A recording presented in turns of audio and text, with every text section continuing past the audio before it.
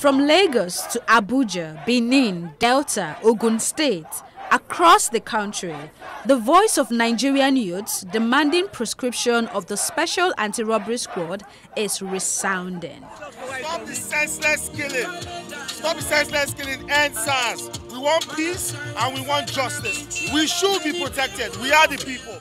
The movement has gathered momentum beyond Nigeria with the hashtag EndSARS trending in the United States, the United Kingdom, South Africa, and Canada.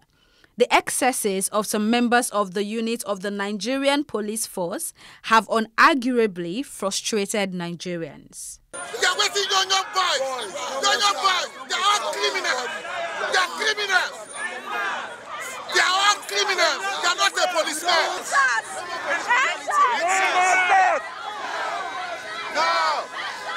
SARS, as they are popularly called, is one of the units under the Nigerian Police Force Criminal Investigation and Intelligence Department. Formed in 1992 by a former Commissioner of Police Simeon Danladi Midenda to address the wave of crime in Lagos State, its operations include investigation, arrest, and prosecution of suspected armed robbers, murderers, kidnappers, hired assassins, and other violent related crimes. One unique feature of this unit at the time was its mode of operation. Operatives operated in plain clothes, used regular vehicles, and were barred from carrying walkie talkie and guns openly.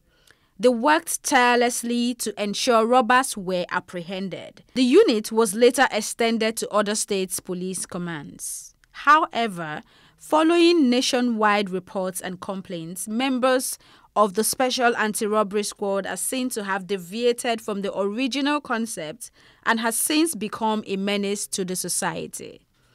With highly emotional, loud voices, Nigerians are saying enough is enough.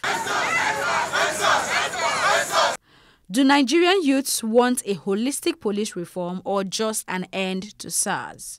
End SARS now. That's what we're fighting for. Okay, police brutality is too much. We want a reform. A reform is needed, but a reform is not what we are clamoring for right now. We want an end to SARS. Then whatever reform you have to do to the police department, do it. The reasons are very clear and simple. Reforms have, have been done severally by the police uh, in Nigeria, and all these reforms have totally failed. It has not. It has not changed the, the mode of operations, it has not changed the, the, the level of harassment, it has not changed the, the, the extremities in, in the brutality, uh, in the cases of brutality that we've experienced. And this is where we're requesting a total annihilation, a total cancellation, a total scrapping, an end to the Special Anti-Robbery Squad unit of the Nigeria Police Force. All parameters considered, which is more of a worthy request, EndSARS or reformation? The only thing worthy to Nigerians right now, especially to the youth right now, is to end SARS. If the call to eradicate SARS is achieved, how do we tackle armed robbery and kidnapping for which SARS was created? It's very simple and straightforward.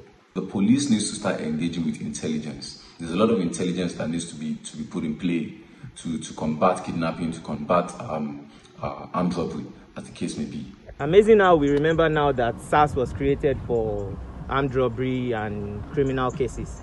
I mean, there have been cases where they've been called for for situations like that. The one million boys at the time, none of them showed up. Like they never did.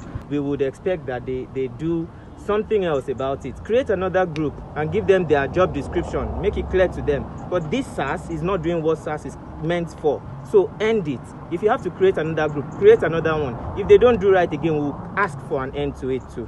While the debate on scrapping or reforming of the squad continues, the point of agreement is that the goal is the protection of lives and properties and not harassment. Elsie Godwin for Plus TV Africa.